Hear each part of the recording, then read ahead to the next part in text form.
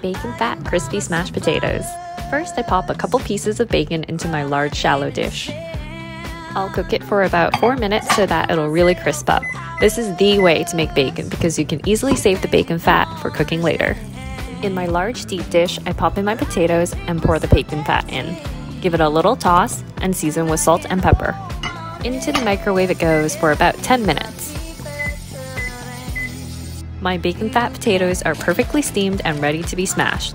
I like them quite thin so they get extra crispy. After 20 minutes of baking, they're looking ready.